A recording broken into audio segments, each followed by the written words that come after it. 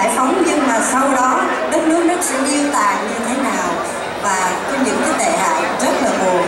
Và sau đó là các nhạc sĩ Lê Kính Hương đã viết nhạc phẩm Con đường tôi về. Bài hát này thủy xin tặng tất cả quý vị để giống như mình nhớ lại, mình nghĩ lại trên đất nước mình bây giờ hiện trạng như thế nào đang xảy ra. Xin quý vị cùng nghe.